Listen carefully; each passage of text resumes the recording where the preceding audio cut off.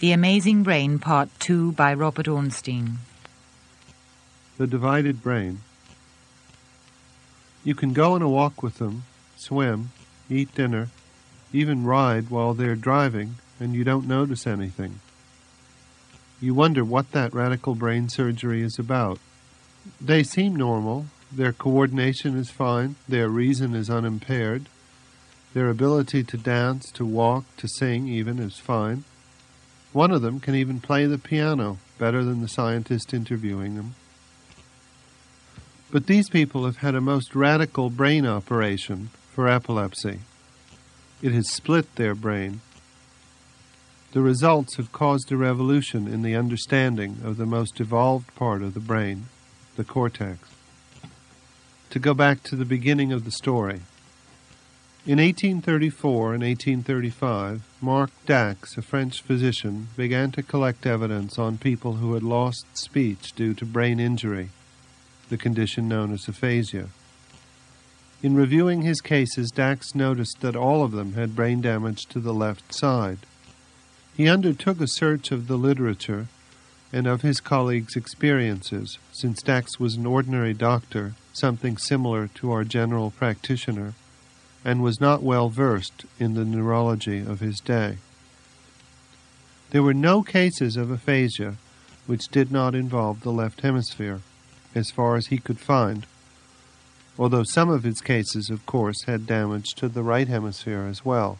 There was a strong association with damage to the left hemisphere and the loss of language. The response to Dax's report was underwhelming. He received no notice, and his contribution seemed to be forgotten. But, as in many important findings in science, the finding was waiting to be rediscovered. The cerebral cortex is divided in much the same way in all primates. The rat's brain is divided, as is that of the cat and the monkey. But the two hemispheres of these animals do not seem to have different functions. In the 19th century, the idea began to arise that the brain was not just an amorphous lump of tissue, as the Greeks had thought, but that different areas of the brain might have different functions. Evidence began to mount that this was indeed the case, and it would have been accepted further had the understanding of that evidence not been faulty. For the proponents of cerebral localization, as it was then called, were also the proponents of the idea of phrenology. The doctrine of phrenology contained the idea that bumps on the surface of the head mirrored differences in the size of the underlying brain tissue underneath. Thus, the kind of brain a person has would then be read, so to speak, on the skull. Different areas of the brain were assigned different functions and representations on the head. This idea had two fatal flaws. It was easily tested, and it was wrong.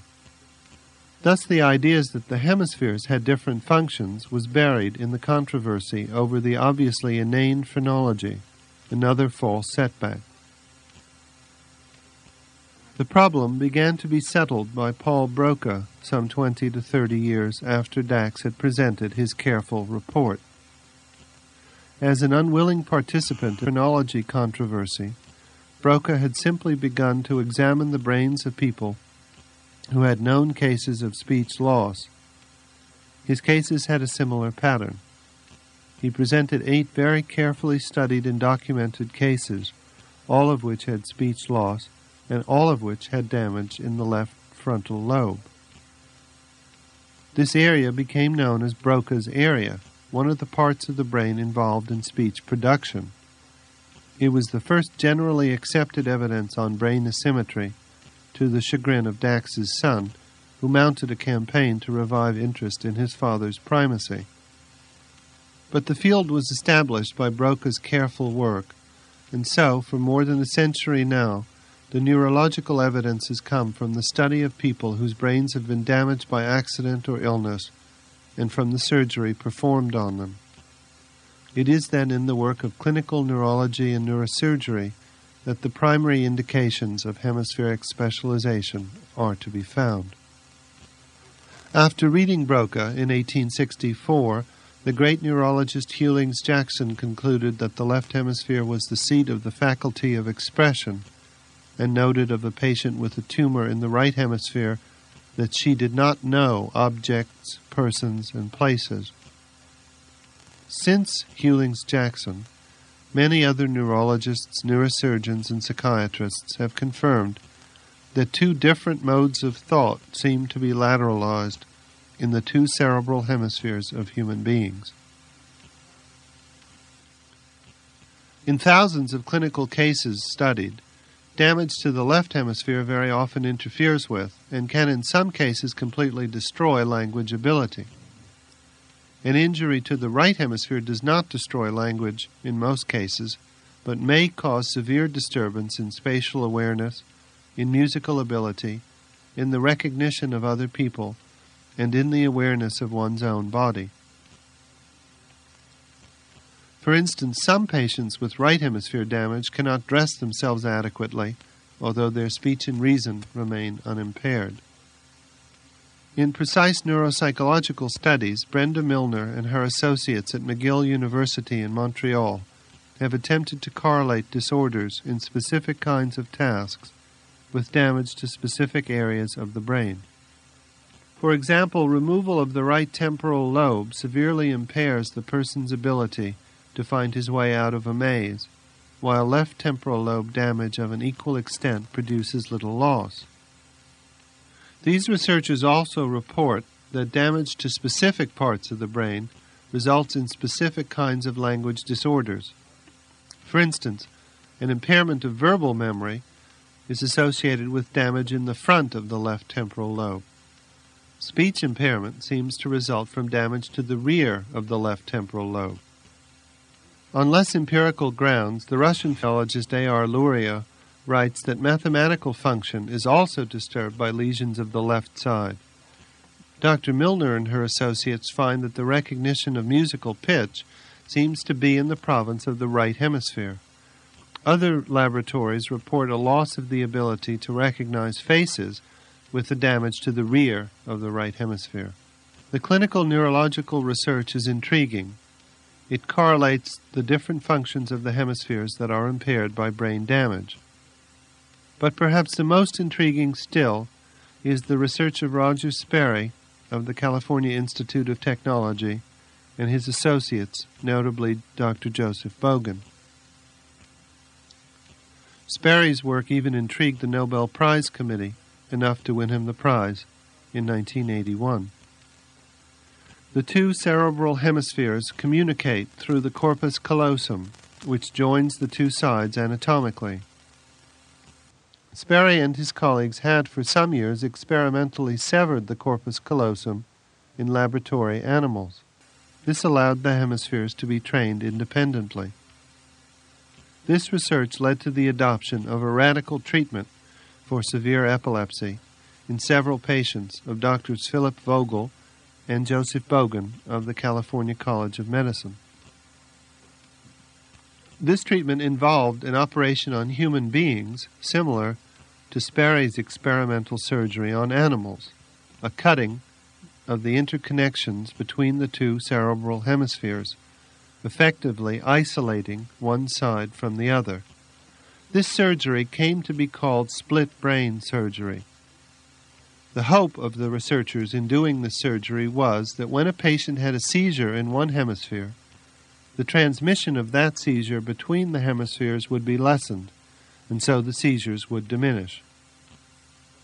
The surgery worked, and in most cases, the severely disturbed patients were improved enough to leave the hospital, to drive, to walk, to talk, to swim, as I mentioned earlier. In day to day living, then, these split brain people exhibit almost no abnormality, which is somewhat surprising in view of their radical surgery. However, Sperry and Bogen developed several ingenious and subtle tests that showed that the operation had clearly separated the specialized functions of the two cerebral hemispheres. For instance, if the patient held a pencil hidden from sight in his right hand, he could verbally describe it as would be normal. but if the pencil was in his left hand, he couldn't describe it at all. Recall that the left hand informs the right hemisphere, which possesses only a limited capability for speech.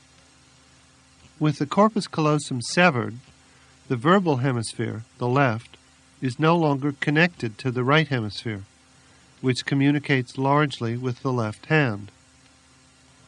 If, however, the patient was offered a set of objects, a key, book, pencil, and so on, and was asked to select the previously given object with his left hand, he could choose correctly, although he still could not state verbally just what he was doing.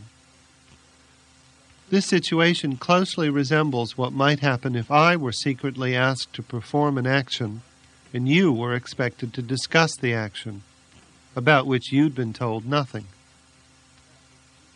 Normally, when we wish to inquire about the knowledge of another person, we allow the verbal apparatus to determine it. We reduce our knowledge to that which a person can report. The preceding example is a primary indication that doing so can be a fundamental error. We are aware of more than we can discuss. This is one of the most important implications of the split brain experiments. Another experiment in Sperry's lab tested the lateral specialization of the two hemispheres using split visual input. The eyes are divided as well as the brain. The right half of each eye sends its messages to the right hemisphere. The left half of each eye sends its messages to the left hemisphere. In this experiment, the word heart was flashed before the patient, with the he to the left and the art to the right. Normally, if you were asked to report this experience, you would report having seen heart. But the split brain patients responded differently, depending upon which hemisphere was responding. When the patient was asked to name the word just presented, he replied art, since this was the portion projected to the left hemisphere, which was answering the question. When, however, the patient was shown two cards, one with the word he the other with the word art, and was asked to point with the left hand to the word just seen, the left hand pointed to he. The simultaneous experience, or at least expression, of each sphere seemed unique and independent of each other in these patients. The verbal hemisphere gave one answer, the nonverbal hemisphere another. One of the most dramatic instances of the superior ability of the right hemisphere was captured on film by Roger Sperry and one of his colleagues. The patient was given a set of blocks with different divisions of red and white paint on the sides. He was asked to assemble those blocks to match certain patterns, which he then sees. The patient begins well with his left hand. He puts blocks into more and more complex patterns. Then he's asked to begin to assemble those blocks with his right hand. Most people assume that it would be quite easy to do the same patterns with another hand. After all, the person has just seen himself doing it. However, the right hand has great difficulty. Even in the simplest of patterns, it turns over the blocks seemingly at random. At one point in Sperry's film, the patient turns over a block to complete a pattern. But he then continues to turn it over and makes an incorrect pattern, much to the viewer's dismay. But here is the interesting part the patient's left side is also dismayed. The left hand appears, furtively, on the side and attempts to correct the right, only to be chastised by the experimenter. Everything we have seen, Roger Sperry writes of his studies, indicates that the surgery has left these people with two separate minds that is, with two separate spheres of consciousness. And it should be noted, these spheres are quite different. One seems to be able to express itself in words, the other in drawing and in space. But the question remained do normal people operate this way, or is the split brain just a unique surgical production? These spectacular split brain and lesion studies are not the only evidence for the physiological duality of mind. In general, great caution should be exercised in drawing inferences to normal function from pathological and surgical cases alone. In dealing with these cases, we must remember that we are investigating disturbed, not normal functioning, and the connection to normal functioning may be a bit tenuous. In cases of brain damage, it is never fully clear, for instance, that one hemisphere has not taken over a function from the other to an unusual degree simply because of the injury. In the case of the surgical patients, they are by definition quite atypical due to their epilepsy. So, to complete this story, it is necessary to get evidence from normally functioning people, even if that evidence is necessarily more indirect, since we don't go around poking inside the brains of our friends. In this case, we are fortunate that recent research with normal people has confirmed much of the neurosurgical explorations. The evidence comes from many sources tests of vision, eye movements, reaction time, ear preference, and electrical signs of brain asymmetry. When I began my research, it seemed necessary to try and develop an easy method to study whether the normal brain actually does make use of the lateral specialization it shows when split. I was very lucky in doing this because the brain was built upwards from the brainstem. Each layer of this ramshackle house was placed over the previous one. This means that the most interesting parts of the brain, the different parts of the cortex, are right under the skull, and the activity of the brain can be actually recorded by placing sensitive electrodes on the surface of the skull. This recording is called the electroencephalogram, or EEG, as it is known in the trade. The EEG consists of an examination of the voltage that the brain produces, as recorded on the surface of the skull. So the voltage is very low, of the order of only a few millionths of a volt. The EEG is not a precise measure, it is rather crude, like recording the overall noise that a city produces. If you did so record a city's noise, for instance, you might find a few things.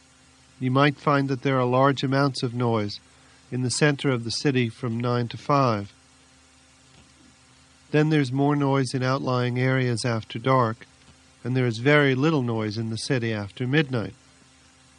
But you would hardly use this crude overall noise measure to determine anything very subtle, such as what the inhabitants were going to do about the next election. The EEG is similarly used to tell us only when one part of the brain is noisy, active. The idea in my experiments was that if the brain of a normal person turned on and off different hemispheres while thinking, then by recording the EEG from both hemispheres of a normal person, working at a cognitive task, I might be able to see a sign of the selective activation and suppression of these two hemispheres. My colleague at the time, David Galin, and I tried out these ideas on a trusting medical student assigned to us one summer. We outfitted him with EEG electrodes over the left and right temporal and parietal areas and asked him to perform verbal and spatial tasks to write a letter, and to arrange a set of colored blocks to match a given pattern, much the same tasks as the split brain patients were given. The findings were immediate and very striking. While he was writing, presumably a left hemisphere task, our student produced a high amplitude EEG over the right hemisphere and produced much less amplitude over the left hemisphere. The high amplitude seemed to be contributed mainly by the alpha rhythm, waves at approximately 10 cycles per second. This pattern reversed while he was arranging the blocks. The alpha was dominant over the left hemisphere and less visible over the right. The alpha rhythm is generally taken to indicate a diminution of information processing, similar to the noise of a city shutting down. This seemed to be what we were searching for a measure of the activity of the two hemispheres of a normal person. The left hemisphere quieted down while our student was arranging the blocks. The right hemisphere quieted down while he was writing. We retested him all summer, grabbed other laboratory personnel, as well as everybody else we could find, for testing, and we found similar results. Their EEG showed for each cognitive mode that the area of the brain not being used was relatively turned off. With these results in mind, we considered the many difficulties other researchers have encountered in attempting to relate the EEG to intelligence, cognition, and consciousness.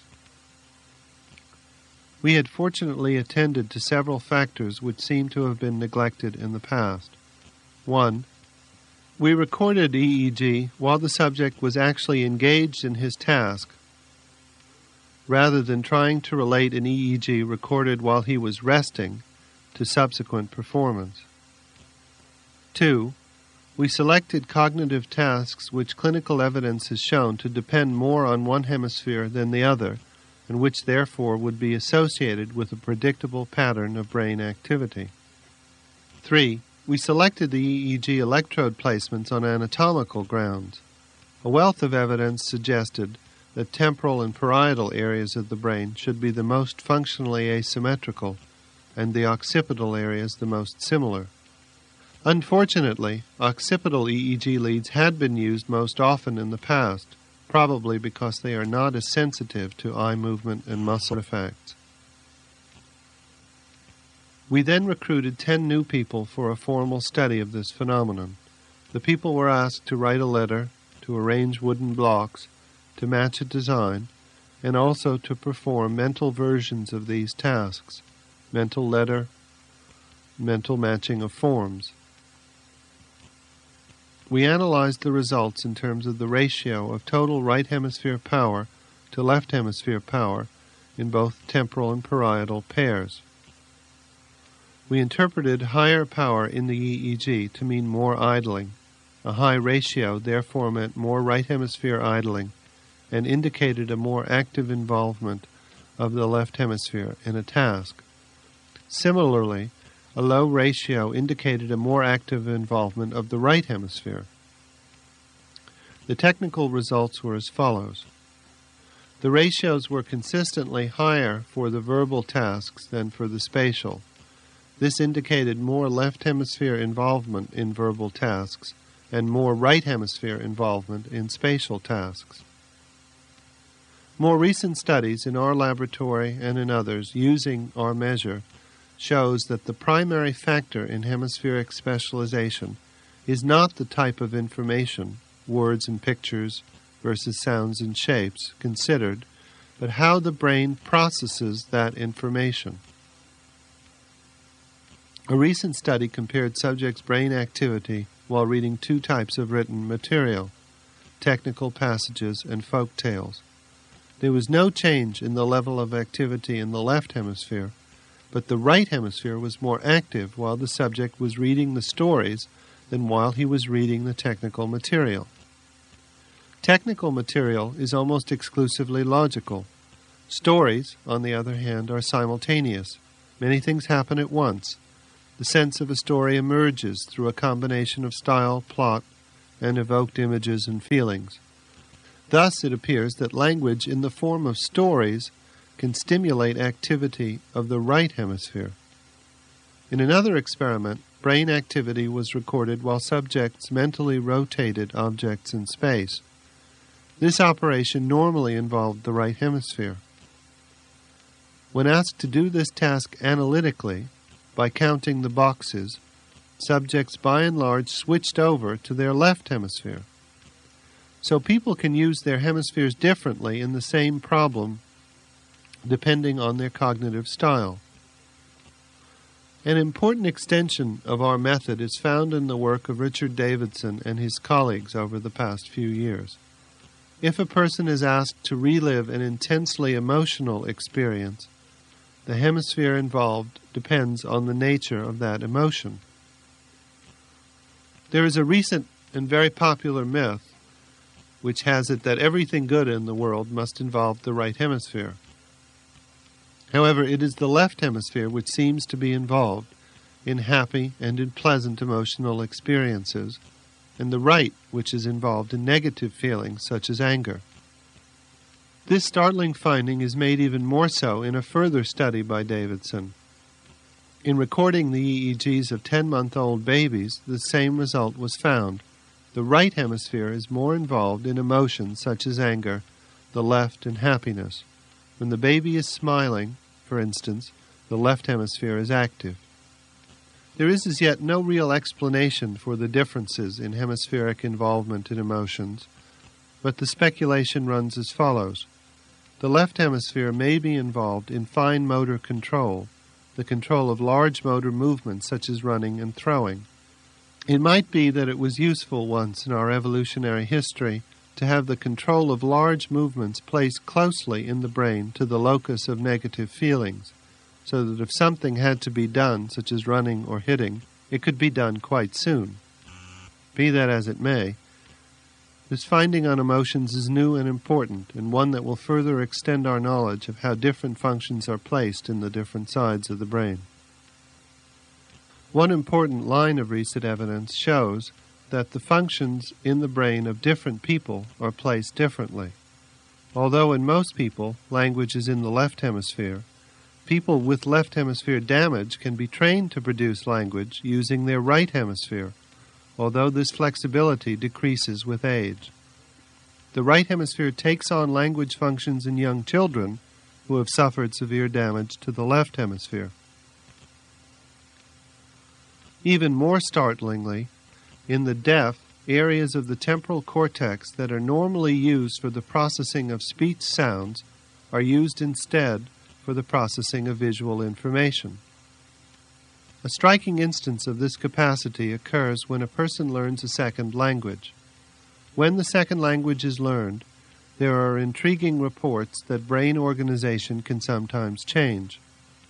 In one case, the first language actually migrates from the left hemisphere to the right. In others, the second language may occupy only the right hemisphere, or it may be represented in both hemispheres. The brain thus seems flexible and adaptable, and this capacity to change may underlie the differences between the brains of different people. Here we'll consider three important questions right and left handers, people of different races, and men and women. The brain of the left hander is different from that of the right. There are three different kinds of brain organization of left handers. One group seems to have the hemispheres divided as do right handers. One group has reversed specialization, and a third has language and spatial abilities in both hemispheres. Whether these findings translate into deficiencies is equivocal. Some studies find both language and spatial defects in left handed people, some do not. However, left handers and their blood relatives do recover from brain damage better than do right handers which indicates that their language abilities are most dispersed in the brain. What is less equivocal is the cultural bias against things of the left. The word gauche, meaning awkward, is the French word for left. The word sinister comes from the Latin for left, sinistral. Whether brain differences manifest themselves as personality or intellectual traits is unknown, but the existence of strong brain differences is certain, and perhaps differences in body regulation. Left handers, for instance, have higher rates of autoimmune diseases than do right handers. There is a clear genetic difference in left and right handers, and of course between the sexes. What about race? Are there racial differences in the brain? It is difficult to be completely positive about this but racial differences actually seem quite unlikely. Race itself, as applied to humans, is a very dubious concept. The genes that specify skin color, for instance, and eye folds, do not appear to be linked with many other genes. And, more importantly, people get their genes from their own parents, not from some hypothetical racial pool. Further, the evidence on intelligence, however it is defined, and race, however it is defined, is so complex that no real judgment can be made. If there are any racial differences, they are easily overcome by training. Not so with sex differences. Finally, a most controversial point. There do exist profound differences in men and women's brains, differences that are present often before birth. There have been in recent years many bits of evidence that document differences in behavior and aptitude. Girls are more verbally fluent than boys, less aggressive, have better fine motor control. Boys have better control of the large muscles, are more sensitive to movement, and are more aggressive. What is new is that these behavioral differences have physical expression in the brain. Boys show earlier right hemisphere development than girls. Sandra Witelson, for instance, asked boys and girls 3 to 13 years old to match held objects to visually presented shapes. At five years of age, boys showed superiority on the task, with objects held in the left hand compared to the right. Girls, however, do better than boys on left hemisphere tasks in grade school years. In addition to the differences in hemispheric maturation, the hemispheres in males are more specialized than those in females. The representation of analytic and sequential thinking is more present in the left hemisphere of males than in females, and spatial abilities are more lateralized in the right hemisphere of males than females. Thus, damage to the left hemisphere interferes with verbal abilities more in males than in females, and damage to the right hemisphere interferes with spatial abilities more in males than in females. Only recently has an important bit of evidence on the male and female brains been discovered. While examining the corpus callosums of several brains, Christine de Lacoste and her colleagues found that they could begin to identify them as male and female by sight. The corpus callosums of the men and women studied are as different so far as are men's and women's arms. An observer can easily group them into the different sexes by sight alone. The women's corpus callosum is larger than the men's, and it is larger in the back of the brain. This is the area of the brain involved in the transmission of information about movements in space and about visual space in general. It is just the area of the corpus callosum that one might expect to be different, given that spatial abilities, like throwing, seem less lateralized in females. They involve both sides of the brain rather than one. It's also important to note that this difference appears as early as 26 weeks in utero. That is, it is an inborn difference in the major system of brain communication. Whether we will find more differences is another question, but we know now that the hemispheres become physically different in different people, left handers and right, men and women. These split and whole brain studies of normal people, surgical patients, men and women, right and left handers, have led to a new conception of human knowledge, consciousness, and intelligence.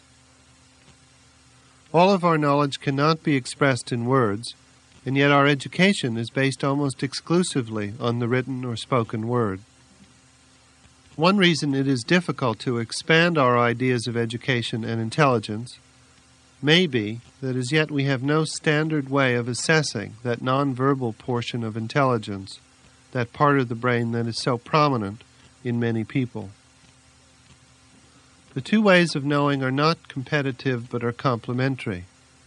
Without a comprehensive perspective, our ability to analyze may be as useless to us as it is to the right hand of the split brain patient. Similarly, an intuitive insight is lost unless we have a way to express it. Many people whom we consider unintelligent, retarded, or unhealthy may in fact possess a different kind of brain and may be quite valuable to society.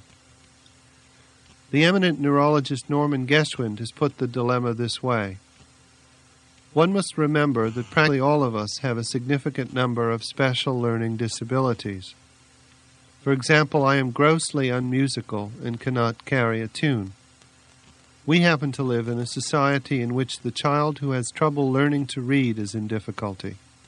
Yet we have all seen some dyslexic children who draw much better than controls, i.e., who have either superior visual perceptual or visual motor skills.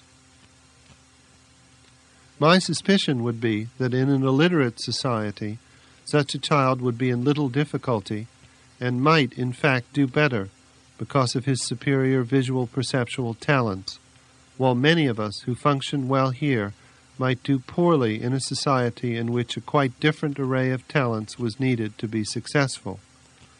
As the demands of society change, will we acquire a new group of minimally brain damaged?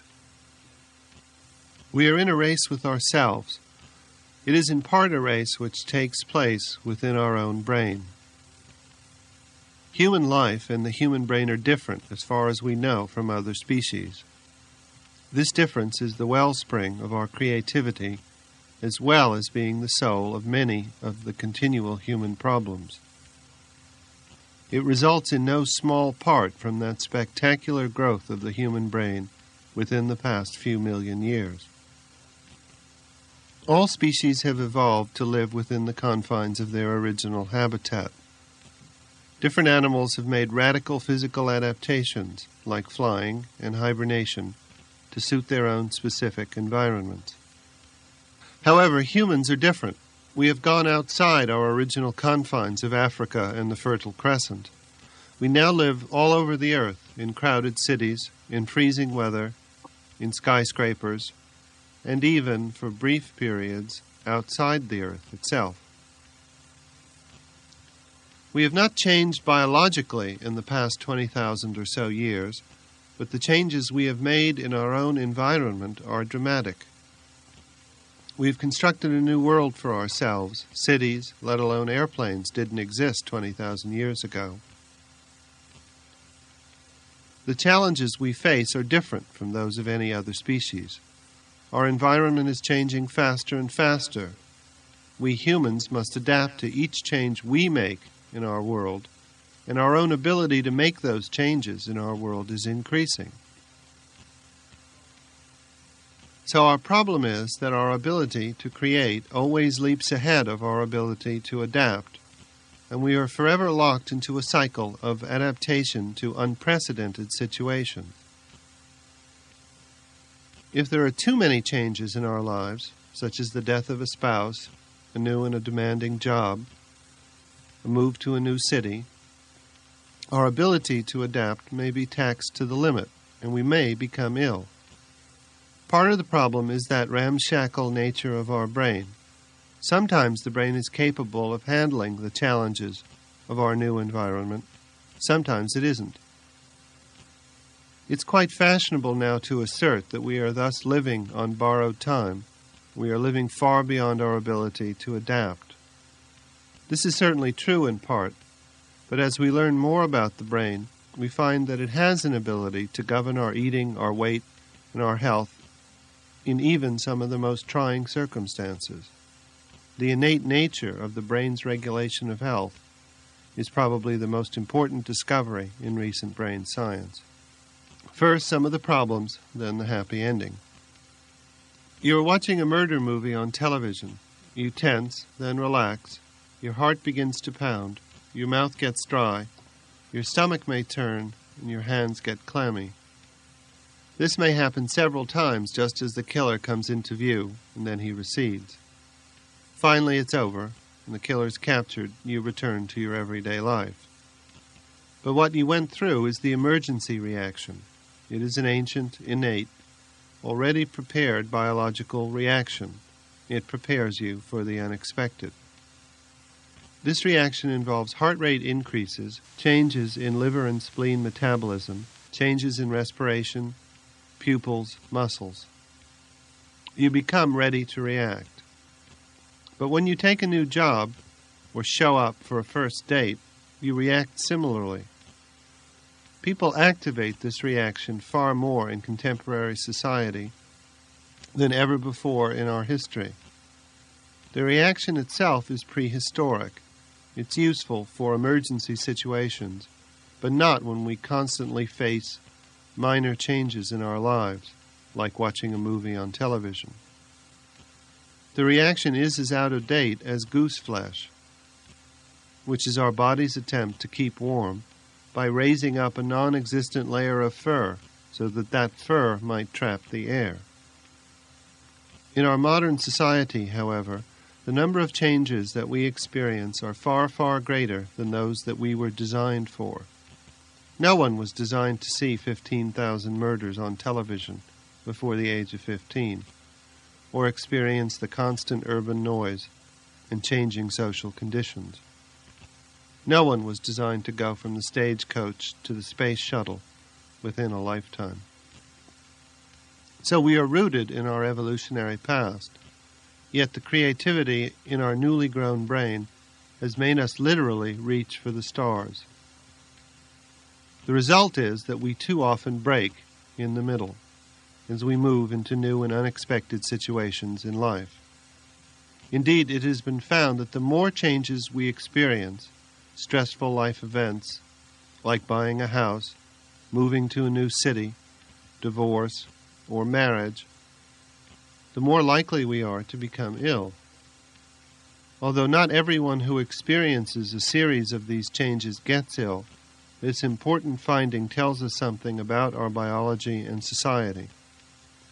Current social conditions are, for too many, beyond their biological limits. For instance, too much life stress can cause heart diseases. The striking rise of heart disease in this century is not entirely due to changes in diet, exercise, cholesterol, and smoking. These factors account for only half the occurrences of heart diseases. Sir William Osler, a physician at the turn of the century, noted that his typical patient with coronary heart disease was not the delicate neurotic person, but the robust, the vigorous in mind and body, the keen and ambitious man, whose engine is always at full speed ahead. People who have heart attacks often appear healthy, but have an exaggerated biological reaction to the stresses of their lives. This has been called type A behavior. The type A coronary prone individuals are described as fast paced, impatient, and irritable. They are deeply involved in their work and deny failure, fatigue, and illness. They try to get more and more done in less and less time. They do not care very much about relationships with their coworkers but are very anxious about the opinions of their supervisors. These type A's are twice as likely to develop heart disease as type B people, who may be as successful as type A's, but tend to be calmer, less time urgent, more concerned with quality rather than quantity of work, are more organized, and less prone to frustration. But how does stress cause disease anyway? it seems a little vague to think that, well, people just get stressed and their illnesses increase. But we now know a fair amount about the mechanisms of the general physiological reactions to stress, and we are just beginning to understand the more specific ones. The emergency reaction is under the control of the limbic system of the brain. This part of the brain stimulates the heart to beat faster and affects the peripheral blood vessels to clamp down. This increases blood pressure. The principal neurotransmitters at these synapses are epinephrine and norepinephrine. At the same time, the sympathetic nervous system stimulates the adrenal medulla to secrete a great deal of epinephrine and some norepinephrine, which are thus doubly assured of reaching their target organs. If the emergency reaction is extreme or long enough, the hypothalamus stimulates the pituitary gland to release ACTH into the blood. The specific physiological reaction which may damage the heart is the type A's extreme responsiveness to situations. Type A's show greater emergency reaction to challenge than do type B's. They shift more often and more extremely into the emergency reaction of high heart rate and blood pressure, as well as the other associated changes, and shift back again. And here's what happens the constantly increasing and decreasing blood volume can directly weaken the arterial walls. The blood clots faster during the emergency reaction, which increases the rate of atherosclerosis, the formation of deposits on the walls of the arteries. This prevents blood from reaching the heart muscle and is the disease process behind heart attack. In addition to this underlying disease, epinephrine and norepinephrine may precipitate a heart attack because they also make the heart beat irregularly, which is cardiac arrhythmia. Another important recent discovery concerns the immune system. The immune system is the body's defense against diseases and other toxins, and as Jonas Salk once pointed out, has functions similar to that of the brain. The immune system is a highly complex system involving many components. Many researchers believe that the brain regulates the immune system and that the state of the immune system is more important in the development of diseases than the exposure to the disease entities themselves, whether viral or bacterial, or to toxins. Some viruses, like herpes simplex, for instance, are always present in the body, but they only become active when something goes wrong with the immune system. Cells which can become cancerous constantly circulate in the body, but in healthy persons they are routinely eliminated by the immune system. These mutant cells can only take root and multiply when some factor, either genetic or environmental, has suppressed the functioning of the immune system. The immune system is thought by many now to hold the key to curing or preventing cancer and a wide variety of other illnesses, perhaps including schizophrenia. Some of the most exciting research on the brain today involves the effect of psychological processes, especially stress, on immune system functioning. Both specific life events and some personality characteristics affect susceptibility to and recovery from disease. For instance, one recent study showed that how women cope with breast cancer has a greater impact on recovery than the size of the tumor or the type of treatment. New techniques have, however, allowed researchers to directly measure indicators of immune system functioning, and they are beginning to link emotions with some changes in immune system reactions. For example, 10 weeks after the death of a spouse, those still bereaved had a tenfold decrease in one kind of immune system responsivity. We are just beginning to understand how mental states such as grief and brain processes affect the immune system. There are many parts to the immune system, and each may bear its own relation to psychological processes, but the reaction is controlled by brain processes, some of which are modifiable.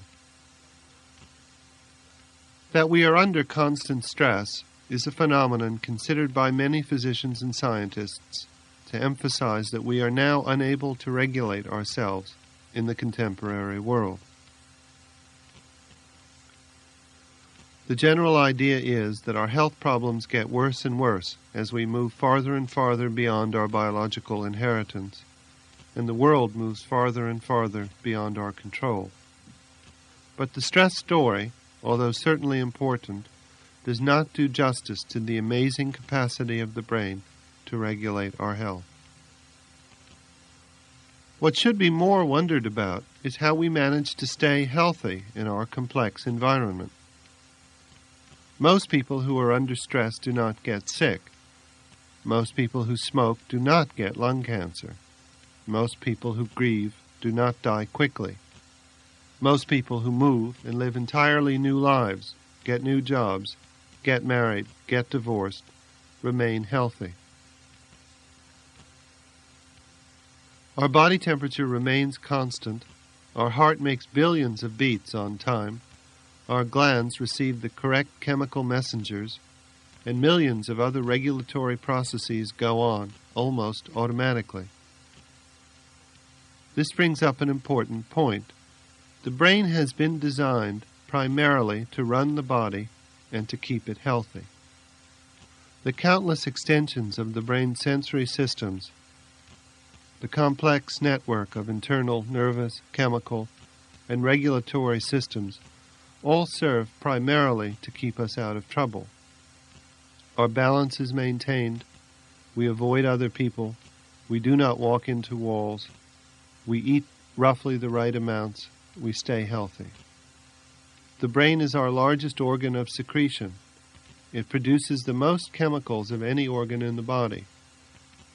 And it should be considered primarily to be the organ of health, our own internal health maintenance organization. Some of the most recent discoveries in brain sciences have enabled us to get a glimpse of how elaborate that innate healing network is and how much we might be able to accomplish were we able to develop drugs and procedures which might allow this innate network to flourish. In one important study in California, a large number of dental patients were given several drugs before their dental work. Some were given pain killing drugs as normal, but others were given a placebo, an inert drug which is believed by the patient to possess genuine physiological effects. Both groups of people reported little or no dental pain while in treatment.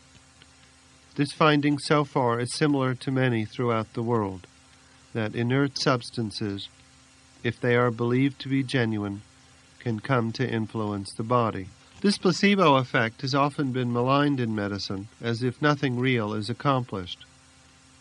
This is similar to the experience of Esdaile, the first person to demonstrate hypnosis to the Royal Society in London. Esdaile, in front of an assembled committee of the Royal Society, sawed off the gangrenous leg of a patient while on stage without anesthesia. But his treatment wasn't accepted anyway. It may seem extreme, but members of the Royal Society denied Esdaile's report and merely alleged that he had hired a hardened rogue to appear. So, too, the placebo is ignored and is often considered trivial by those researchers who are interested in hard medicine. But this experiment, under the direction of John Levine of the University of California, was different. After administering the placebo to some of his patients, Levine did something else, something quite innovative. He gave half of the patients a dose of naloxone, a drug which blocks the effects of endorphins. It does so by filling the receptor sites so that the endorphins cannot operate. If the placebo were merely foolery, then naloxone should have no effect. But if the placebo activates our own endorphin system, the naloxone would have an effect. The results were very astonishing to many people in neurochemistry. Those people who were given naloxone did not produce the placebo effect. They found the dentistry painful. This means that the placebo effect, in this experiment anyway, may have involved the production of endorphins by the dental patients. They may have produced it due to their belief that they were going to be relieved from pain and activated their own innate pain killing mechanisms. So the brain may be able to relieve pain by producing chemicals on demand, chemicals that block transmission of the pain signals. Endorphin production has been reported to influence weight, memory, schizophrenic like symptoms, in many aspects of the immune system. The brain then seems to possess some capacities for healing and self repair beyond the dreams and certainly beyond the understanding of researchers only a few years ago. It seems to be able to regulate our health far beyond anything that could be done consciously. Norman Cousins has reported that laughter helped him overcome a mysterious disease. Augustin de la Peña has hypothesized that the excessively bored brain may be responsible for cancer. Dr. Frey of the University of Minnesota has found that emotional tears, tears under the control of brain mechanisms, may contain substances that the body needs to expel. And there are numerous new ideas on how mental health and physical health may be quite similar. Here I want to focus on an important and continuous program of the brain, maintaining a proper weight. The need to trust innate brain mechanisms is demonstrated by the common problem of attempting to lose weight. People often fight themselves over weight loss. It is a major social concern. It is, as recent brain research indicates, a futile and useless fight. For people love food.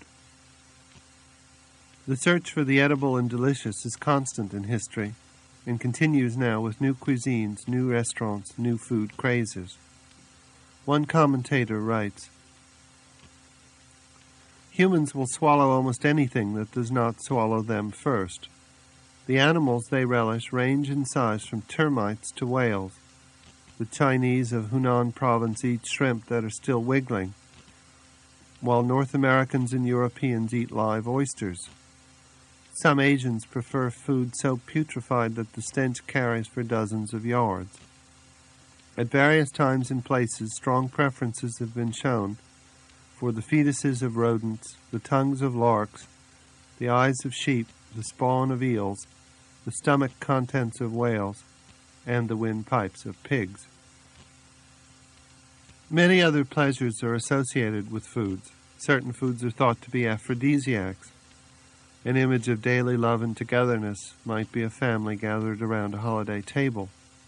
The cliche has it that the way to a man's heart is through his stomach. Jewish mothers are well known to cure everything with chicken soup. Our love of and preoccupation with food has had, until recently, great adaptive value. In times when food supply was not reliable enough, those people who gorged themselves when they could get food had more chance of survival. In addition, when most work required expensive enormous amounts of energy. Huge meals were needed as fuel for the manual labor. Until recently, there was no central heating, and in temperate climates, unheated homes made it necessary to produce the heat from within, from the products of the stomach, rather than the tree and the furnace. But the body itself operates like a furnace and the brain is like the thermostat of that furnace. Weight is gained when there are more calories taken in than are expended. A calorie is a measure of heat production, defined as the amount of energy required to increase the temperature of one gram of water by one degree centigrade. However, losing and gaining weight is not simply a matter of calories eaten, as the perennial diet books have it because the brain regulates weight around a set point, like the temperature set point on a thermostat. Consider this. You will eat about 50 tons of food in your lifetime, yet your weight rarely varies even as much as one ton. From this point of view, 15 to 20 pounds isn't very much. This set point is the body weight which several brain areas attempt to maintain. The hypothalamus can control eating and drinking and metabolic level to raise or lower caloric expenditure. The set point thus keeps weight around a predetermined level, so it is more difficult both to gain and lose weight than we would predict by merely counting calories. That the brain regulates body weight helps us understand why it is easier to lose weight at the beginning of a diet and harder at the end. At the beginning of a diet, we are far away from our set point. The farther away from the set point we are, the easier weight is to lose. There are common excuses for being overweight. One, I've lost hundreds of pounds in my life, the implication being that it is always gained back. Two, it doesn't matter how much I eat, I am just naturally fat. Three, I can gain weight just looking at food. Recent evidence suggests that these cliches are all true. Here is a fact that may make some people very sad. Some of you are born to be fat. The part of the hypothalamus which regulates weight may simply be set higher in some people. And in addition, different people have different levels of fat cells which are predetermined early on in their development. These factors make losing weight below the set point difficult, if not impossible. The problem for people who are considered constitutionally obese is that their own body norms, as expressed in their set points, are higher than the current cultural norm. The naturally obese, then, may face bleak alternatives either constant hunger or being considered overweight. This innate factor is why people lose and gain weight constantly and why diets don't work. This is why there's always a new diet every year. People are up against a powerful and impenetrable biological barrier. However, there is one consolation for people who seem doomed to never match the skinny ideal of the models in jeans ads. For years, it has been assumed that thin people are healthier. Most actuarial tables of the insurance companies reflect this. Obese people pay higher rates for life insurance. It has recently been found that people who live the longest are well above the published norms for weight. In all age and height groups, people who are slightly fat are the healthiest, and the ideal weight for height increases with age. This increase is almost exactly that gained on the average. This means that our brain's automatic regulation is wiser than our current cultural ideal. So being overweight may not be such a losing battle after all. We don't lose much on diets since the regulatory mechanisms of the brain begin immediately to compensate for the fuel shortage by conserving brain's resources. Dieters may recall that they often feel weak and sluggish after a couple of weeks on a diet. But because fewer calories are being burned, there is not a tremendous loss of weight. At the beginning of a diet, when weight may well be above the set point, weight loss occurs fairly quickly. As the weight is lowered, the body strives to maintain its set point, and metabolism is reduced. Therefore, weight is lost less quickly, or not at all. The body's built in protection against famine makes the set point much higher than the person may desire. Because the body operates on a lower energy requirement during a diet, when you go off a diet and eat normally, weight gain is likely. So weight is kept in a delicate balance, regulated unconsciously by the innate mechanisms of the brain. There is a story told by many survivors of disasters, plane crashes, and famines that may bear on all this. This particular one is from the Nazi concentration camps in World War II. Among their very many unsavory experiments, the Nazis determined to discover how fast people would starve given inadequate diets. So they provided inmates with as little as 300 calories a day and charted their bodily changes. In one camp, most of the inmates died on this diet, but one small group had many survivors. When the camps were liberated, the leader of the group was asked why he thought his fellow inmates survived. What did they do? He said, Each day, with our meager meal, we all gathered around and talked to each other. We talked about the most wonderful meals we had ever had, and the wonderful meals we might have again in the future. We imagined eating roasts and potatoes, cakes, and wine. This group survived.